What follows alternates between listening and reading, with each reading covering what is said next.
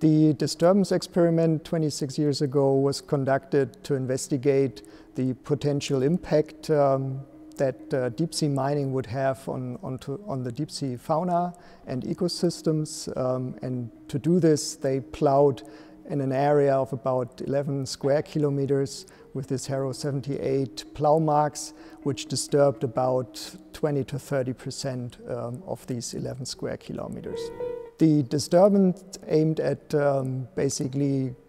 yeah, killing and, and plowing under uh, the manganese nodules and with it the entire fauna that lives uh, uh, in these surface sediments. So in the deep sea, on average, uh, all the fauna basically inhabits the top 10 to 15 centimeters of the seafloor, and these were completely impacted by this plow harrow. Um, and this is in the end similar to what we would expect uh, with uh, manganese nodule mining in the deep sea on an industrial scale, where you would take away the top 10, 15 centimeters, and with it the entire uh, inhabited uh, um, area of the deep sea, basically.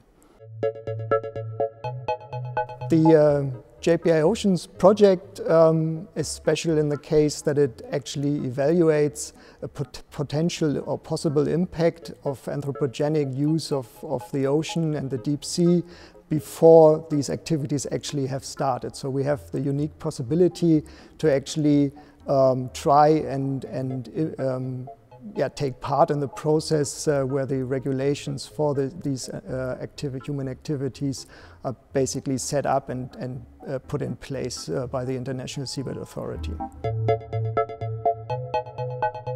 The first results that we uh, found basically during already during the cruises uh, last year in the Peru Basin are that um, the macrofauna particularly and also the meiofauna, so the, the living animals down in the, in the deep sea, um, that they did not recolonize, recolonize um, those uh, plow marks. Um, and the main reasons for that is that the nutrient supply, of course, in the deep sea is very low. So they, they need many, many decades to centuries to adapt to changing conditions. And uh, the second impact is that the um, deeper sediments that are now exposed to the surface are much denser and harder to repopulate because most of the animals actually need to uh, uh, burrow into these sediments and this is of course much much more complicated and, and difficult if the substrate and ground is harder and more compacted. Yeah, from our perspective at the moment um, and our knowledge, we would expect that uh, an impact like, like deep sea mining uh, would impact the deep sea ecosystems for many centuries.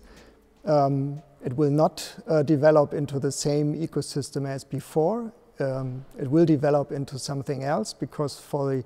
for the next centuries and thousands of years, uh, because that's that's um, regulated by the deposition of material from the surface ocean into the deep sea. Um, this, this will take at least 10 centimeters on average to restore the, the old surface 10 centimeters of sediment. Uh, so these are the time scales where a similar ecosystem than today could establish. And in the meantime, there will be some other ecosystem composition that, that will uh, establish or it will take um, in the end these many thousands, year, thousands of years uh, to get back to the normal state.